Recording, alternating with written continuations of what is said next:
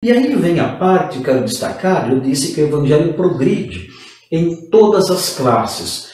Diz assim o texto aqui: também muitíssimos sacerdotes obedeciam à fé.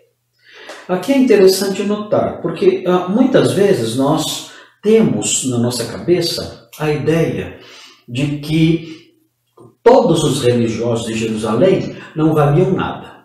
Eram todos mentirosos, todos hipócritas, não prestavam, tudo gente ruim, viviam lá no templo, lá, mas era tudo da boca para fora, era gente da pior espécie. Quando nós olhamos com mais atenção os registros dos evangelhos e de Atos dos Apóstolos, nós descobrimos que isso não é, não é muito correto pensar assim.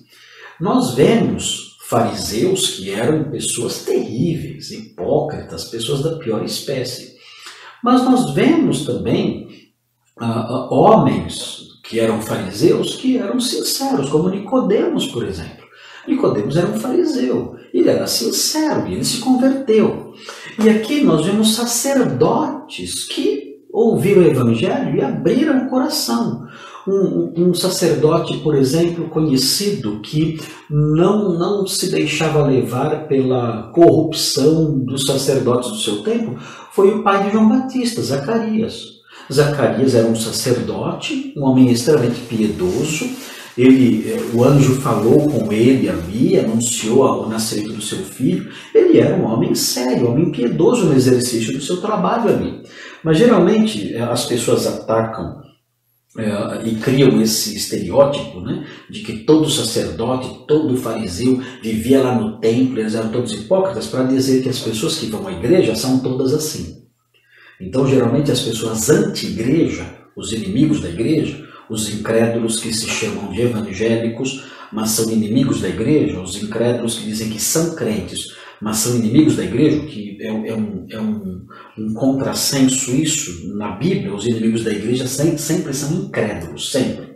Os inimigos das igrejas locais, não é a igreja universal, igreja invisível, não.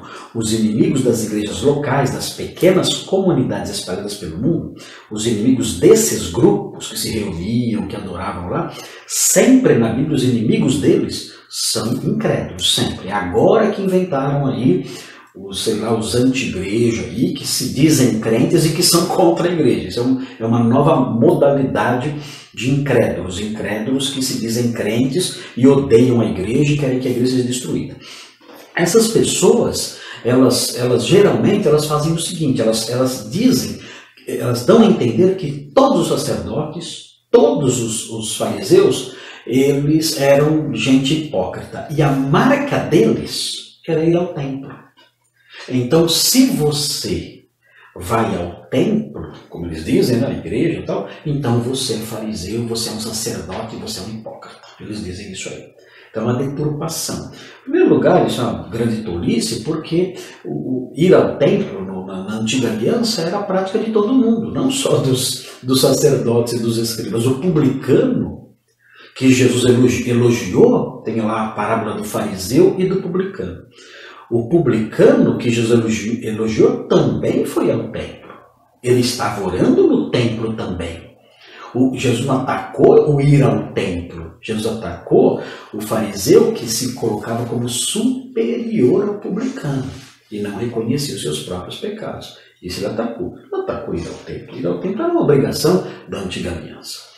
Muito bem. E ir à igreja é uma obrigação da nova aliança. Deus impõe isso aos crentes.